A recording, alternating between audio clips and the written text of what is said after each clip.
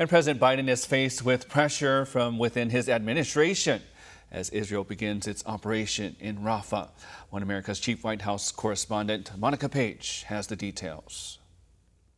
I'm speaking with Israeli government spokesman David Mencer. David, we know the offensive into Rafah has begun to weed out the remaining cells of Hamas and get the rest of those hostages out. And this operation comes after Hamas killed multiple Israeli soldiers this past week. And here at home, the president met with Jordanian King Abdullah as well, where he reportedly pressed Biden on trying to avert this operation. But what does this kind of conversation signal to you? So, look, it's very important that our American uh, colleagues and, you know, the Biden administration has been side by side with us through much of this uh, seven month war. We understand that there are differences now, but we are determined uh, to uproot Hamas uh, from Rafah. We simply ask the question what would any other democracy do faced with this genocidal, murderous organization? We've done a phenomenal job, a phenomenal job in getting rid of most of uh, Hamas from Gaza. We've liberated um, Gaza from Hamas, but there are four battalions remaining. And you can believe in me, Monica. I tell you, the mood right here in Israel as we send our boys and girls back into battle, uh, into face these genocidal murderers, we're going to win because we believe that our cause is just and we believe that people that believe in just causes should be with us as well.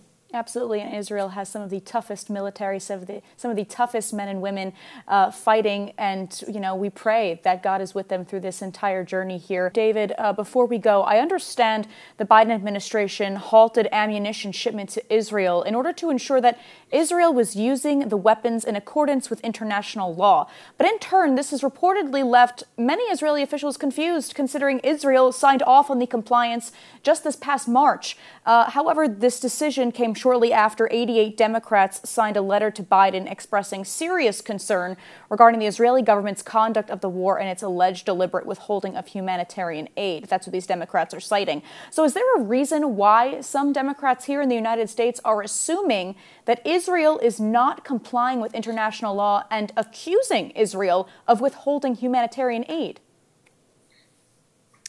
So that's the propaganda. Uh, let me give you uh, some of the facts.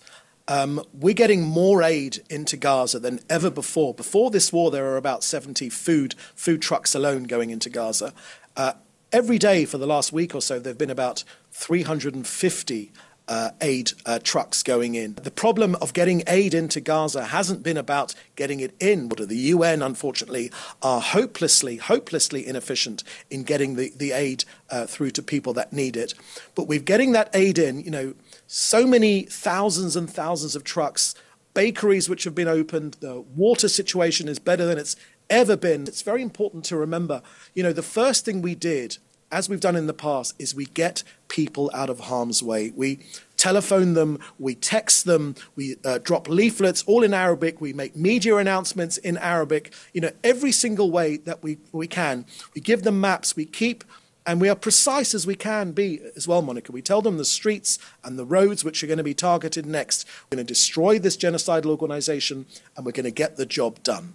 David, I appreciate you breaking this down for us because there's a lot of different kinds of information out there. So, David Mencer, Israeli government spokesman, thank you so much for joining us, and thank you so much for clearing that up. And uh, God bless those troops out there. And uh, you know, we're working every single day to make sure the job gets done and bring every single hostage home. So, thank you so much for your time. And thank you to Monica, to all of uh, your viewers, but also all the uh, people in the US that have supported us throughout this seven month uh, conflict. We want it to be over very, very soon. We believe it will be. And we're going to get rid of this terrorist organization to go back to, we want to get back to building better relations with all of our neighbors in this part of the world. Thank you, David. God bless. For all our viewers asking where One America News is heading in the future, we would like to introduce you to OAN Live OAN Live is the best way to stay up to date on all of the hard hitting, straight shooting, national and international headlines. And the best part is, OAN Live is only $4.99 per month. All the credible, honest, unbiased reporting One America News offers at a fraction of the cost of cable. Just go to OANN.com to easily sign up for OAN Live and stay informed.